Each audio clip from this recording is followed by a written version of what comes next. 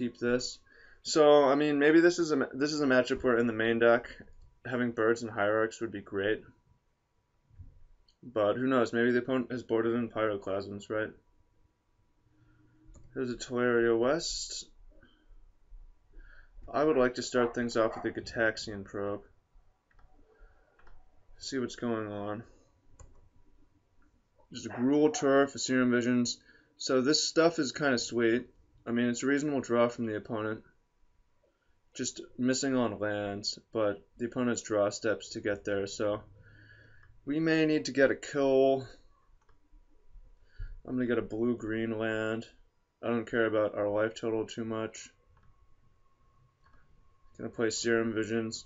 And we can Disrupting Shoal a Serum Visions if we want to. Bottom the Caryatid. Bottom of the Dryad Arbor, draw Caryatid. So now we would just need a Jeskai Ascendancy to combo. Now I'm really torn because if we don't Disrupting Shoal this, okay, well, we can Disrupting Shoal this, but look at the opponent's hand right now. The opponent can play Gruul Turf, oh, and pick it up, yeah, and play, play Primeval Titan this turn, yeah, no thanks.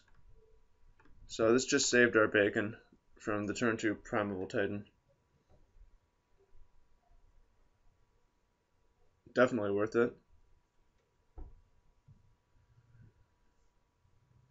Although we're admittedly not doing a ton either.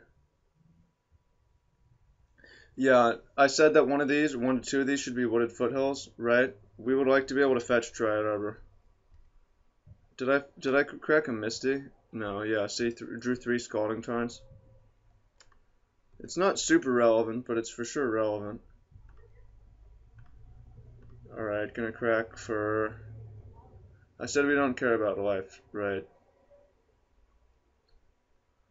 Seems like we don't care about life. Play for green. It probably makes sense to cycle these Manamorphoses to look for dig through time. But it doesn't make a difference on this turn. And next turn maybe we draw Jeskai Ascendancy and want to keep the Manamorphose, so do it this way three, four, five, six. So yeah, just basically looking for looking for the goods. Opponent has five cards in hand, two Serum Visions, a Summer Bloom, and a Titan.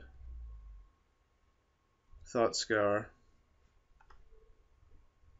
Um, I'm gonna lead with the Morphos. Green. Get red, like red and blue. Sleight of hand. Correct this thing. Thought Scour. Getting nowhere. Play. Well, we can play Thought Scour and still have mana up. Thought Scour us. Been to Jeskai Ascendancy. Drew a Fate Stitcher. Oh, I tapped our mana wrong too, so we need to fetch for life again to cast this Caryatid. We have green. What do we have? Green red left.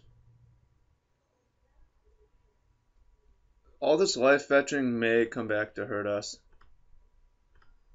Play this. Pass the turn.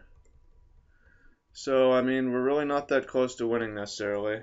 Well, we are if we draw like an Ascendancy or one of our things. But it's definitely an advantage to not playing Glittering Wishes. You don't you don't have it as often. You have to spend more time searching for it or hope to draw it.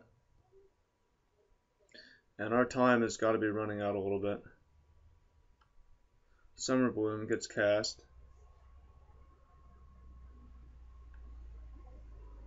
Tolaria West and Selesnya Sanctuary. Okay, so Titan is not coming next turn. Uh, Titan is coming next turn. So hopefully we draw something that does something. Dig through time. Spirit Guide, whack. Alright, well maybe we can get Fate Stitcher. No, there's no way to I was thinking maybe there's some way to unearth Fate Stitcher. Disrupting Shoal. Hmm. If we play a land, we have one, two, three, four. We only have five mana for Disrupting Shoal.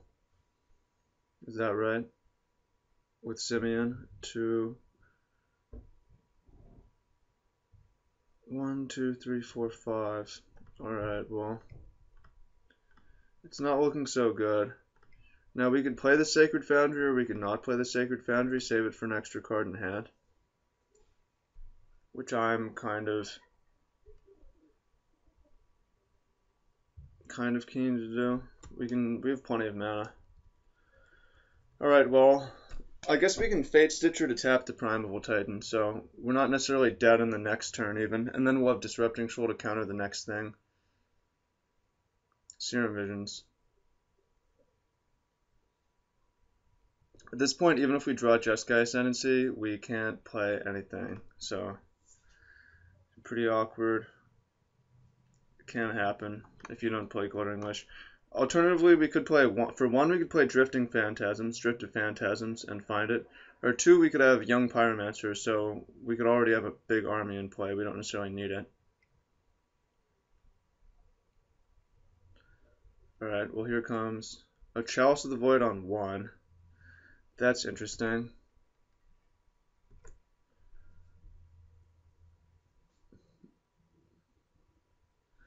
So we can one, two, one, two, three, four. Well, we do a Fate Stitcher, and the opponent, I believe, has another Serum Visions in hand. Am I incorrect? No, it's played both. Well, here's also a reason to have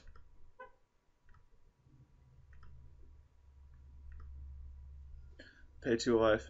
I'm just going to pass the turn with the reason being one, two, three, four. Let's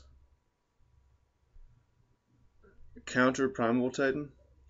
Well, hang on. We can use Fate Stitcher to tap a land or we could use Simian Spirit Guide to Disrupting Shoal, which I think I'd prefer to do this turn. Because if we tap a land, maybe the opponent has an untapped green source. Seems pretty unlikely, but it's possible. The opponent's gotta know something weird is going on if the Fate Stitcher didn't get used. So, we could still be alright if we draw one of our Delve cards, but this game's got to be pretty hard to win. We should bring in all our young Pyromancers, that's for sure a thing. Here's the Seal of Primordium I was talking about. I'm not going to counter it. Because, well, we're just kind of screwed. Should have boarded in the Young Pyros. Blue, blue. Misty Rainforest. Tap this thing. Tap Boros Garrison. Untap. Well, we can get Dryad Arbor and start the beatdowns. Pass the turn. Going to Fate Stitcher to tap one of these green lands. And then it's going to be a long grind to beat down.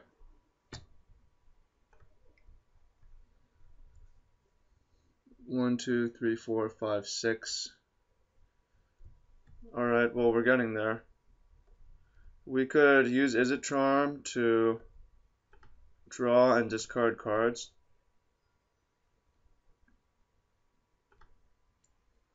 Hmm. Alright, I've got a game plan. Simian Spirit Guide is in play.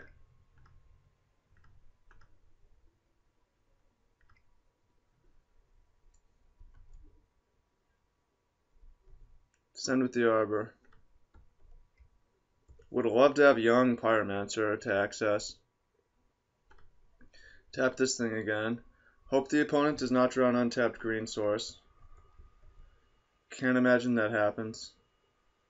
Dead. Jeez. Alright, well. That's not it's not necessarily over, depending on how the opponent plays it, because we can Fate Stitcher to tap that.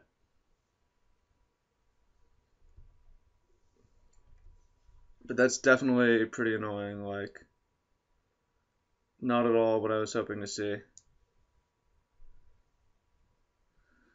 Can Izzet Charm get rid of the Serum Visions? Opponent grabs Simic Growth Chamber and Cavern of Souls. Alright, what does that mean? There's another Primeval Titan coming? It means this Disrupting Shoal doesn't seem very good. Picks up Tendo Ice Bridge. Alright.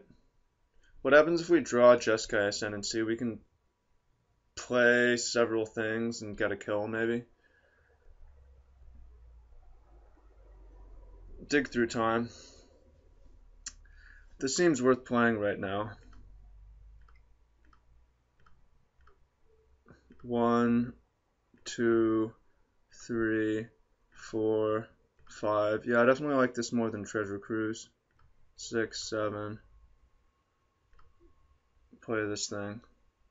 There's a Treasure Cruise and a Jeskai Ascendancy. So we should be able to combo off here. Red, white. So here's what we can do. We can, three, we can play Jeskai Ascendancy.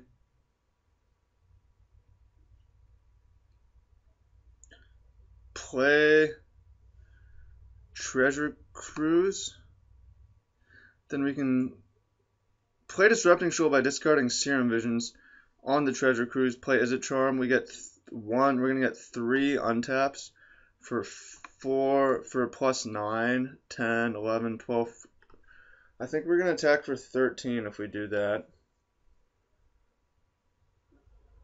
13. We would untap a lot of mana, but it's like, I don't know if that's a kill. Alternatively, we can wait one turn and probably do some more exciting stuff. But it would mean a chance of just dying. We can use Fate Stitcher to tap the Primeval Titan, but it looks like there's another Titan coming. And that Titan could bring a Slayer Stronghold with it. Problem with this plan is we play the Ascendancy, Treasure Cruise happens, I mean, we'll have a lot of cards in our hand. No, we'll only have the three. Deals two damage. Play Jeskai Ascendancy. Play Treasure Cruise. Play Disrupting Shoal. Play Serum Visions. If these, if we had a Conclave, or these things could attack. What if we just play Treasure Cruise? one, two, three, four, five, six, seven. More information. There's a cryptic command, but we don't have the right mana for it. We can Fate Stitcher. God, that's annoying. Well, let me think about this. We can Fate Stitcher on tap an island. How interesting is this? I'm going to time out for sure. Red, white, blue, play Jeskai Ascendancy, play Serum Visions. This thing gets killed. In response, play a Disrupting Shoal. In response, play an Izzet Charm.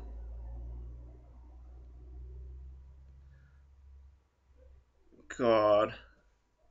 I have a headache. I want another Manamorphose. Red, white, blue, play a sleight of hand. This gets killed in response. Play Disrupting Shoal, untap everybody. That's two spells. And then we should be able to play two Izzet Charms for three and four spells, which is 4, 12, 13, 14, which is still 16. 17, 18, 19. Can we play five spells? I just feel like we're dead next turn with what the opponent got. So I feel like we have to go for it. We don't have to. We could have some blockers or whatever. We could play one, two, three, four. We can play, I think we have enough gas to play five spells, so let's try it. White, red, untap this thing. Is this gonna work? Untap this. White, red, blue, green. Play Jeskai Ascendancy. Tap for a blue. Play a sleight of hand. We don't have enough spells, guys. I'm pretty sure we're just going to fizzle. Play this thing. Well, we can at least untap to Cryptic Command. This thing gets countered. See if the opponent seal Primordiums in response. Does not.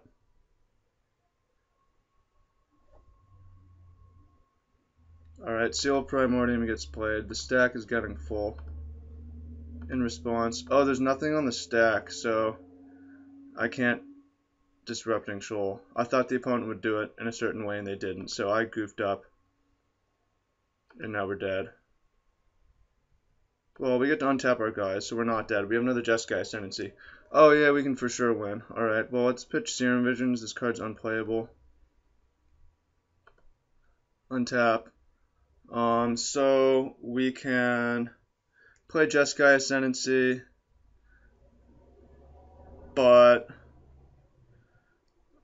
we can play Jeskai Ascendancy and, and then we don't have any mana left. So we need to pass the turn and Cryptic Command, which we have the mana for. So I'm not going to use Fate Stitcher because we need the blue mana. Not going to Cryptic to bounce or tap anything because we want to do it in combat. Definitely concerned of six of Pact of Negation at this point.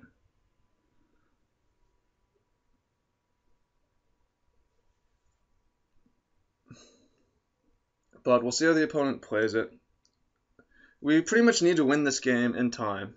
We need to win this game. Like I'm I'm new to the deck and it's online, so it's pretty hard to use as you can tell. Alright, well, was correct in reading this. We could have played Jeskai Ascendancy and then shipped, and then assuming the opponent played a spell, play Disrupting Shoal to untap everybody and cast Cryptic. Alright, well here's Primeval Titan, but it looks like the opponent is on plan Slayer's Stronghold. It looks like they're not transmuting for a Pact of Negation, which is good for us.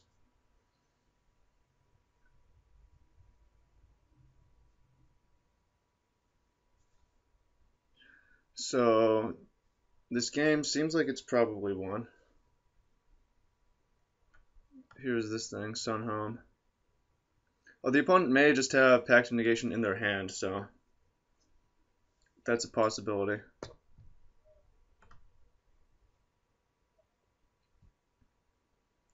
We can tap, we could bounce Chalice of the Void.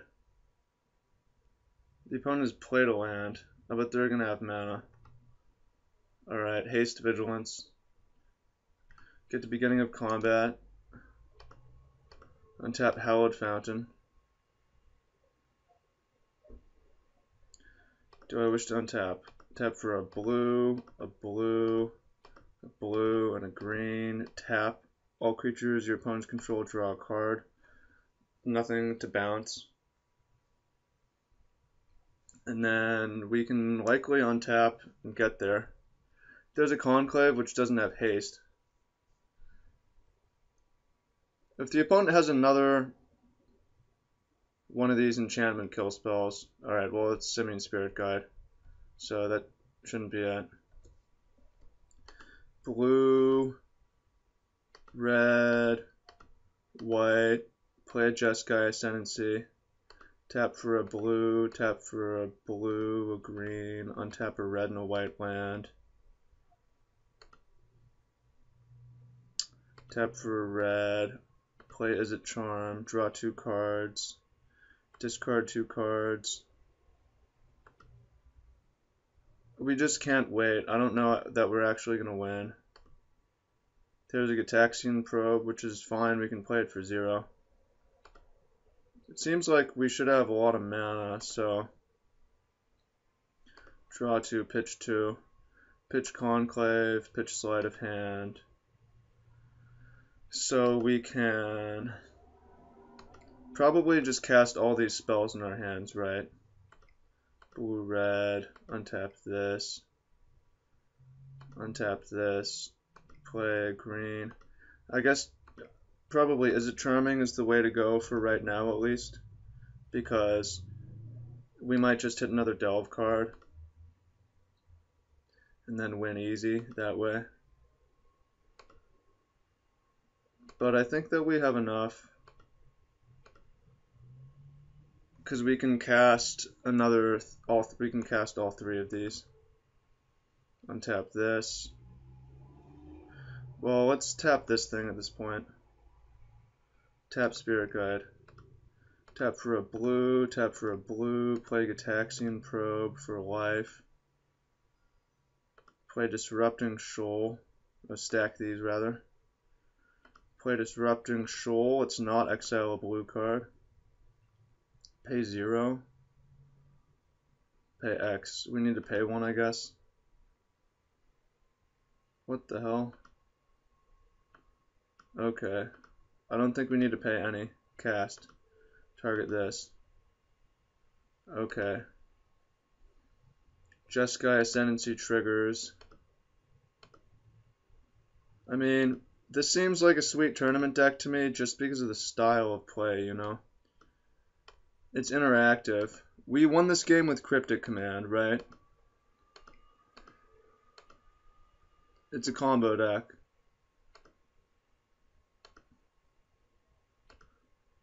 Um, use this ability.